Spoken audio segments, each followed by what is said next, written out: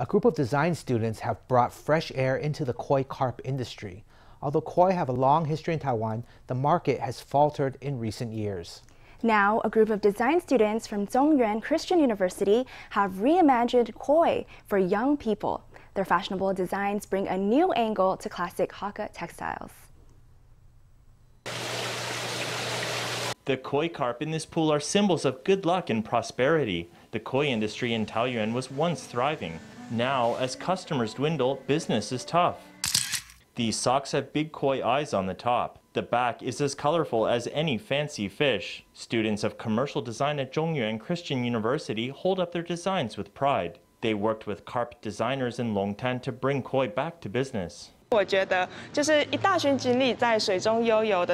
I think it's such a colorful, bright, and exciting scene when there are lots of koi carp swimming in a pool. There's a really cool little thing here. This is the head of the carp and this is the tail. When you put them together like this, the entire fish appears. If you have a lot of bottles all lined up like this, you can see clearly. It's like a big group of fish swimming in the water. We hope that the image of the carp altogether will make people think of the natural ecology of the mountains and rivers here, or of a gathering of distinguished people. It's really impressive and lively. These bottles are decorated with the red of carp, the green of the mountain peaks, and the yellow of the lupin flower.